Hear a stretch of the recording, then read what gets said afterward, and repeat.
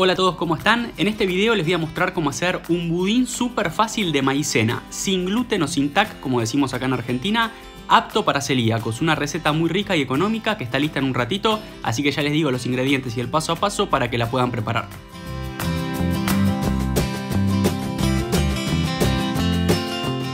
En un bol vamos a poner 150 gramos de manteca mantequilla a temperatura ambiente, 150 gramos de azúcar y ralladura de un limón o esencia de vainilla como les guste más.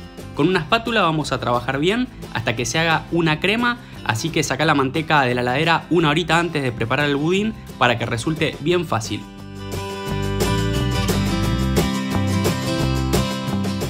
Cuando quedó todo bien integrado, agregamos 3 huevos de a 1 batiendo después de cada edición. Agregamos uno, mezclamos y lo mismo con el resto.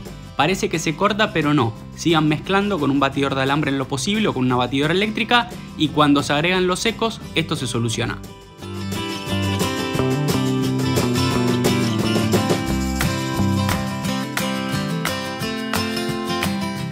Ahora le vamos a agregar una cucharadita de polvo para hornear a 180 gramos de maicena y vamos a mezclar. Agregamos los secos al batido de una sola vez y mezclamos bien hasta que se haga una masa homogénea.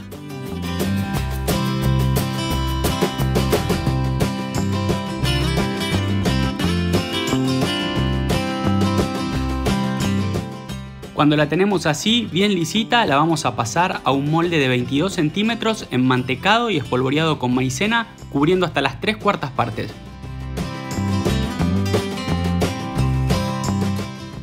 Acomodamos la mezcla con una espátula para nivelar y llevamos a cocinar a horno precalentado medio, unos 160 grados durante 45 minutos aproximadamente o hasta que inserte en un palito y salga limpio. Así que una vez frío ya se puede desmoldar